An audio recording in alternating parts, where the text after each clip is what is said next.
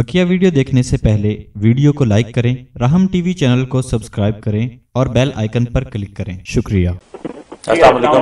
जी वालेकुम अस्सलाम जी सबसे पहले तो माशाल्लाह आज का टॉपिक आपका बहुत इंटरेस्टिंग है बर वक्त है। थैंक यू इस हवाले से एक सवाल ये करना था हज़रत मुफ्ती साहब से कि ये छुट्टियों का जो कॉन्सेप्ट है जो सेलिब्रेशन का और फेस्टिवल्स का जो कॉन्सेप्ट है उसमें इस्लाम हमें किस चीज़ की इजाज़त देता है और किससे मना करता है? क्योंकि नबी करीम वसल्लम जब मदीना में तशरीफ़ लाए थे और वहाँ के लोग ऐसे सेलिब्रेशन करते थे, ऐसे दिन मनाने थे, मनाते थे तो नबी वसल्लम ने फरमाया कि हमें भी अल्लाह ने दो सेलिब्रेशन दी हैं, जो कि ईद उल फितर है और ईद उल अजहा है।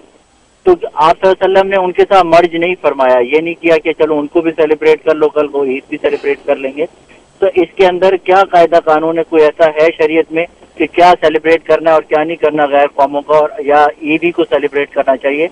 और दूसरी बात ये कि अगर इसमें कोई गुंजाइश है तो हम इतना वेट क्यों करते हैं कि दूसरी कौमें अपना कोई सेलिब्रेशन हमें दें? हम खुद ही अपनी सेलिब्रेशन वैरायटी की वैरायटी हम बनाते चले जाए ताकि लोगों को जो आज की नीड है उसको पूरा करें। बहुत शुक्रिया कॉलर आपने बड़ा खूबसूरत सवाल किया, लेकिन आपने दो चीज़ें। एक तो मुफ्ती साहब इसका पहले जवाब दे चुके हैं। और दूसरा, आपने खुद भी उसका जवाब, अपने सवाल का खुद भी दे दिया कि क्यों ना हम अपने त्योहारों को मनाएँ और उसमें ऐड करते चलें और लोगों को एजुकेट करें। लेकिन मुफ्ती साहब, इस्लामी नुकता नज़र क्या है इस सिलसिले में कि क्या लिमिट क्या है, क्या बाउंड्रीज हैं, कौन से त्यौहार हम मना सकते हैं कौन सा नहीं मना सकते हैं? आ, बहुत अच्छा पॉइंट उठाया आपने। दोनों नुकते आपके बहुत अच्छे हैं। जहाँ तक पहले सवाल का ताल्लुक है उसमें यह है कि असल में दीन इस्लाम का कमाल यह है कि दीन इस्लाम जहाँ किसी चीज़ का ऑल्टरनेटिव दिया जा सकता हो तो वहाँ ऑल्टरनेटिव देता है। लिहाजा यहाँ पर नेमुल बदल दिया जा सकता था। ईद उल फितर, ईद उल अजहा की शक्ल में वो दे दिया गया है। कि ज़ाहिर है कि उस वक्त के लोग वो मेला जिस तरह मनाते थे, वो तो इतनी हुल्लड़बाजी के साथ मनाते थे तो वो गया कि वो नफ्स प्रस्ती के बिल्कुल के ताबे होकर जो है, वो अपनी खुराफात करते थे। ज़ाहिर दीन इस्लाम अब उसकी के अंदर तो मर्ज नहीं हो सकता था। तो लेकिन लोगों की फितरी जज्बात है कि खुशी मनाए, उछले कूदें, हैं? तो उसलिए दीन इस्लाम को ईद उल फितर, ईद उल अजहा दे दिए गए।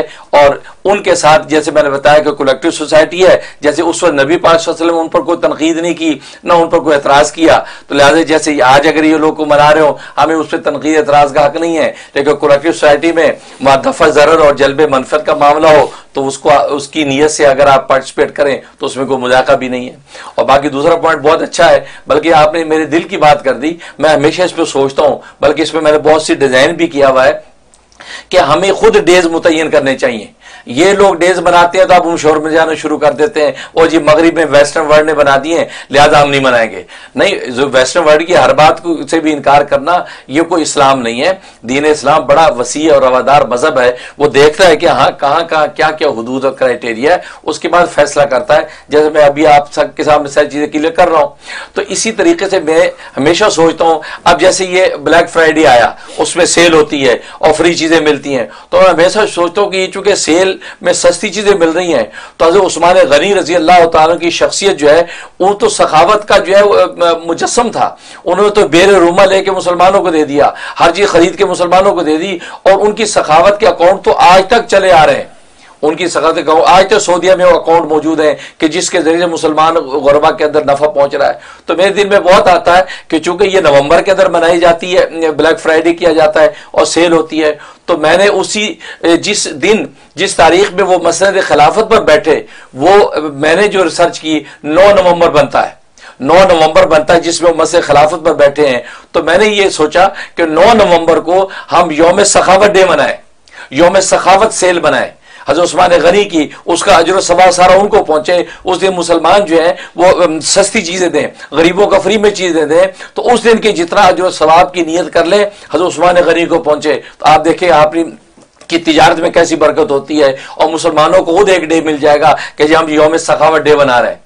इसी तरीके से मैंने बाकियों के सारे डेज़ मुतयन किए हुए हैं। इसी हज़रत अबू बकर सिद्दीक के लिए मैंने योम सदाकत डे मुतयन किया हुआ है। हजर उमर के योम अदालत डे हज़रत अली के योम शुजात डे तो हमें योम शुजात हम बनाए योम अदालत बनाए योम सदाकत बनाए तो वो उसकी तारीखों को भी मैं अनाउंस करूँगा। लेकिन आज जो है ये प्रोग्राम के तवसुस से तो मैं नौ नवंबर को योम सखावत सेल जो है ये इसका मैं ऐलान करता हूँ और इसकी आप अवेयरनेस करें और इंशाल्लाह मैं भी सोशल मीडिया पर अपनी टीम से कहूँगा तलबा इस बात को आगे बढ़ाएँ। और मैं जो है होस्ट से भी कहूँगा कि इसको और एलिब्रेट करें कि हम जो है वो नौ नवंबर को योम सखावत सेल मनाएँ, ताकि हम जो उसका काउंटर हो, ज़्यादा ऑल्टरनेटिव जैसे नबी रहता था, हम अपनी कौम को ऑल्टरनेटिव देंगे तो हमारी कौम अपने का, अपने वो डे मनाने में लगी होगी, दूसरे डेहों का फिर क्या असर लेगी? बड़ा खूबसूरत सजेशन है मुफ्ती साहब ये मैंने नोट कर लिया इनशाला इस पे एक खास प्रोग्राम करेंगे योम सखावत डे पे। और इनशाला ताला चूँकि अभी तो गुजर गया लेकिन अगले साल 9 नवंबर को हम चाहेंगे कि हमारे जो लोकल बिजनेसेस हैं वो योम सखावत डे को एज ए रिलीजियस हॉलीडे इसको फॉलो करें इनशाला। ब्यूटीफुल सजेशन मुफ्ती साहब थैंक यू